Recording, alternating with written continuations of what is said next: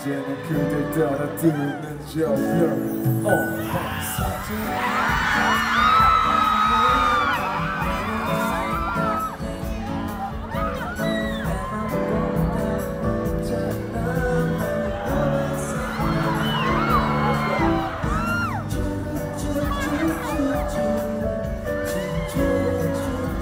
Thank you.